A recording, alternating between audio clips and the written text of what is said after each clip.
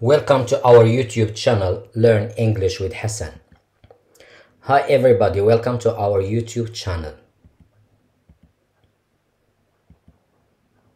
Please subscribe to uh, to support us, like our videos and share our videos also with your family and friends.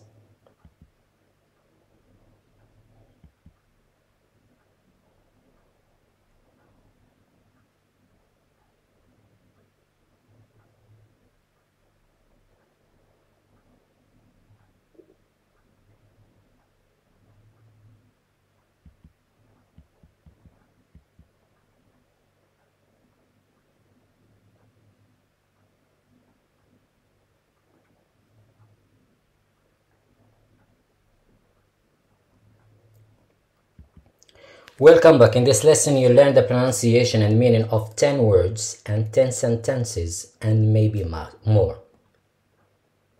All the words we are going to study today start with the letter D.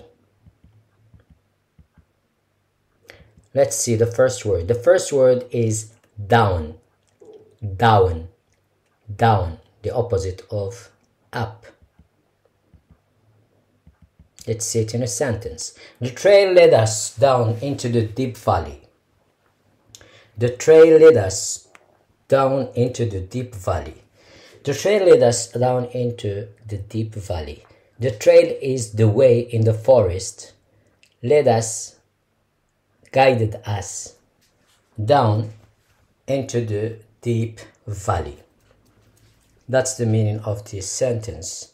So we are in nature and we are walking on a way, on a trail, on a path down. We were descending into, we were going down into the deep, very deep valley. Valley where there is water. Let's go to the next word. The next word is draw. Draw. Draw. Some students pronounce W, they say draw. No, it's not correct, draw. So when we have A and W, we pronounce it just O. Draw, draw, draw. Let's say it in a sentence. She used a pencil to draw a beautiful landscape on the blank canvas. She used a pencil to draw a beautiful landscape on the blank canvas. She used a pencil to draw a beautiful landscape on the blank canvas. She used, okay, she was holding in her hand a pencil and she was drawing, she was making a picture of a beautiful, amazing landscape nature on a blank canvas, on a blank tissue, a piece of cloth. So she used a pencil to draw a beautiful landscape on the blank canvas. Let's go to the next word. The next word is dream. Dream. Dream. So when we sleep, we dream. Some people, they don't dream or they don't remember their dreams at least. I dream of becoming a successful author and sharing my stories with the world. I dream of becoming a successful author and sharing my stories with the world. I dream of becoming a successful author and sharing my stories with the world. So his dream is to become a successful writer or author and to share his stories with all of with all the people around the world. So I dream of becoming a successful author and sharing my stories with the world. Let's go to the next word. The next word is dress. Dress. Dress. Dress is to put on clothes and it means also a piece of clothes. So here it means a piece of clothes. So she wore a beautiful red dress to the party. She wore a beautiful red dress to the party. She wore a beautiful red dress to the party. So she was going to the party and she chose to wear a red dress because it's beautiful and attractive. She wore a beautiful red dress to the party. Let's go to the next word. The next word is dinner. Dinner. Dinner, the last meal of the day. We have breakfast, lunch, and dinner.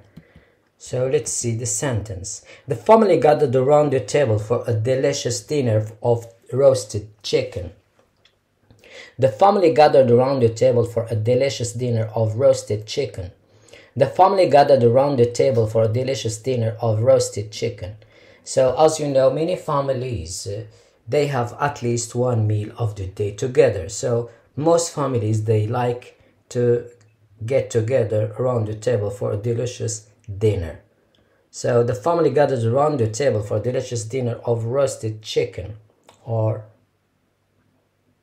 yeah, or grilled chicken Drink is the next word. Drink, drink, drink. Let's see it in a sentence. After a long day at work, I like to relax and drink a cup of tea. After a long day at work, I like to relax and drink a cup of tea. After a long day at work, I like to relax and drink a cup of tea. So sometimes when we work all the day and by the end of the day, so we look very tired and we want to relax and drink a cup of tea. Let's go to the next word. The next word is drive. Drive. Drive to drive a car. For example, so she learned how to drive a car when she turned 16. She learned how to drive a car when she turned 16. She learned how to drive a car when she turned 16.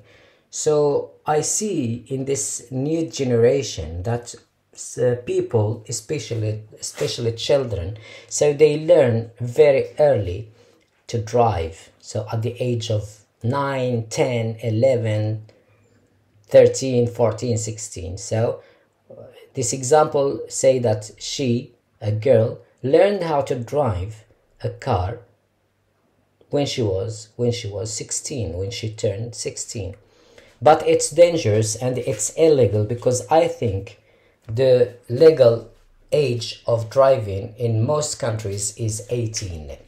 She learned how to drive a car when she turned 16. Let's go to the next word.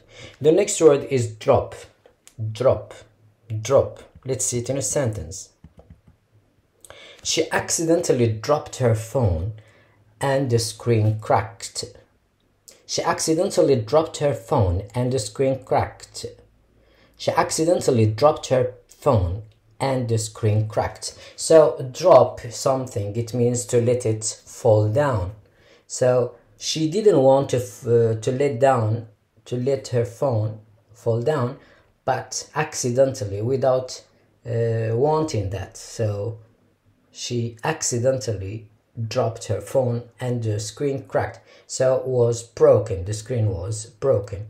So she accidentally dropped her phone and the screen cracked. Let's go to the next word. The next word is dry. Dry. Dry. So we have wet the opposite of dry.